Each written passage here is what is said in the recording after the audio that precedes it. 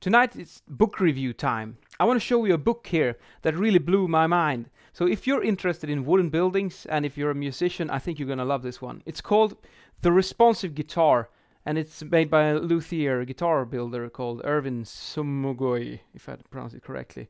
And uh, it's basically two parts of the responsive guitar. And the first part is uh, this is this one. And the the second part deals with how to build a guitar, but I'm, I'm going to talk about the first part here.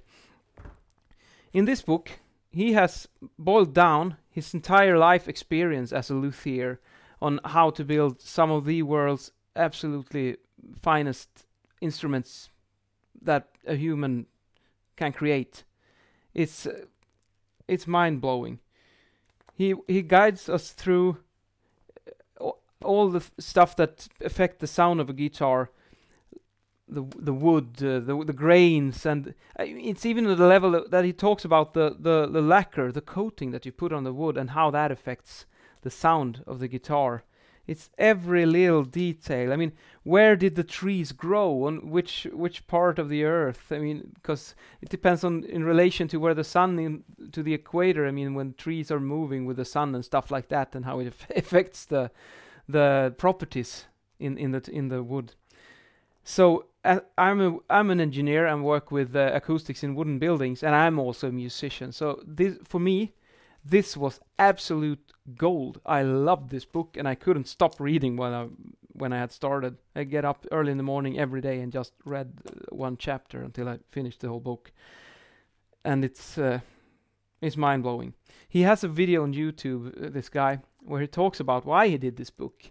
Because if if you're a, like a luthier, you have these tricks of the trade, like secret saws that have been passed down through generations, and in here he he kind of reveals it all. This is how it is. And then in this video where he describes this book, he, he says that I want my legacy to if if this book can help people to create even better guitars than what I have done. I would very much very much like that to be my legacy. And it's it's so beautiful. This sentence. I I get goosebumps just thinking of it. And uh, uh, Ervin uh, if you ever see this video, you can rest assured that I am using your knowledge in this book to design uh, wooden buildings so that they get good acoustics. And that is another way of passing on your legacy that I'm pretty sure that you didn't think of. But uh, thank you for writing this book. And uh, if you're a musician and an engineer, I think you also could really love this one. Just my thoughts. Good night.